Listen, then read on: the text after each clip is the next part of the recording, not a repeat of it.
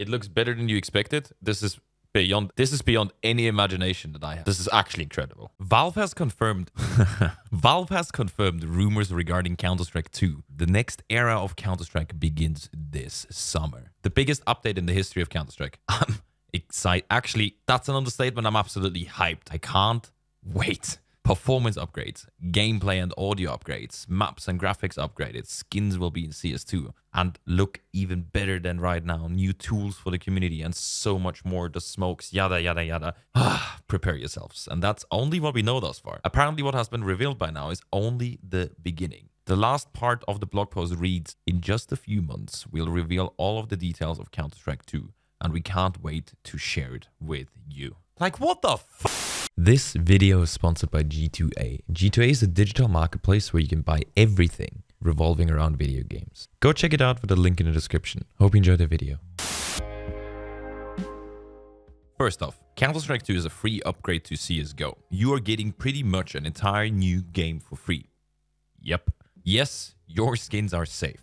Don't worry about it. As predicted by many, Valve will not destroy their huge built-up economy system. Instead, they will look even better now in-game, which kind of already influences the skin market in just a few hours. Shiny skins like, for instance, this Bayonet Doppler, well, I mean, look at the graph.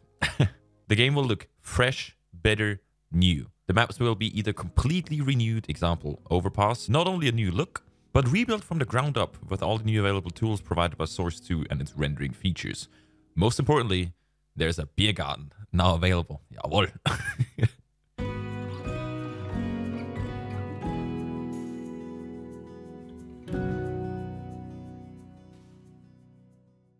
Or maps like Nuke will only be upgraded with its lighting, reflections, and materials, while the classics like Dust 2 seems to be a return again in Counter-Strike 2. Probably? I'm definitely excited. The community is getting more tools with the Source 2, which honestly can only mean one thing, even better content by the community for the community. High definition visual effects will be a part as well. Source 2 lighting, particle systems, it will all make it look more realistic. And in my eyes, better look for the spectators. Uh, either esports, content, or really anything. The spectators are going to have a very, very good time. Gameplay visuals have been redesigned with directional blood impacts as an example. Very neat little details. And here's the thing. Counter-Strike has always been the game that is very easy to get into, but the details made you stick around. Now they add even more small details like this, which will spice the same principle each round up. The more small details, the better in the end. I guess I'm gonna play Counter-Strike until I'm retired with grey hair and not like that I'm dragging around the floor. Yeah. Environment effects updated such as explosions, fire, Molotov, C4 lighting, and much, much more. UI enhancements as well. Fresh visuals are always a nice positive touch. They also teasing accurate audio that is reworked. Well, let's see about that. How do you get access to the CS2 limited test is what probably all of you are asking right now. Players will get randomly selected based on playtime, trust factors, Steam account standing, and a couple more features factors that they haven't revealed. So check your CSGO main menu whenever you enter the game. If you're invited, you can select something that is called enroll in game, download, and start to play it. So regularly check up on your CSGO main menu. The test will last undefined until the release, I suppose. More information will be shared soon. Oh, and also feed. Hmm.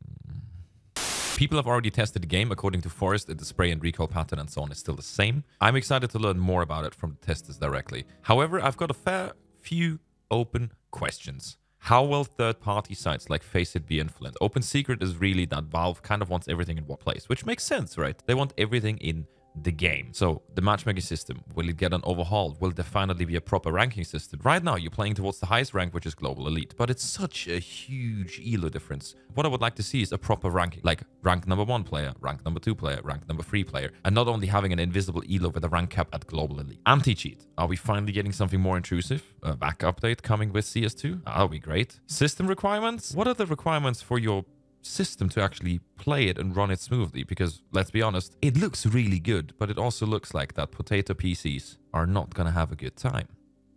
Will NVIDIA technology be introduced and included? CSGO is heavily CPU focused, so now maybe the GPU is about time to be incorporated properly with Source 2. There's lots of things like NVIDIA Reflex and so on that would enhance the game even further that I would love to have in Counter-Strike 2. Hey, also, create a code, pretty please? CSGO will most likely disappear and be fully replaced by Counter-Strike 2. I saw a couple of people wondering whether or not it's going to be two games. I'm pretty sure that CSGO will be finally dying, but only because there's a new Counter Strike. Counter Strike will never die. What's your take on it? I'd love to hear about it. Let me know in the comments. See you in the next video. I'm actually wondering if my input is going to still work or something. The experience of anyone that is a Counter Strike fan, a Counter Strike player, a Counter Strike skin connoisseur, or whatever you do with Counter Strike, I think it's just going to be improved with Counter Strike 2 coming in summer. Valve was AFK for a very long period of time, and now they just basically dropped the most nuclear rebrand ever. Oh my god, man.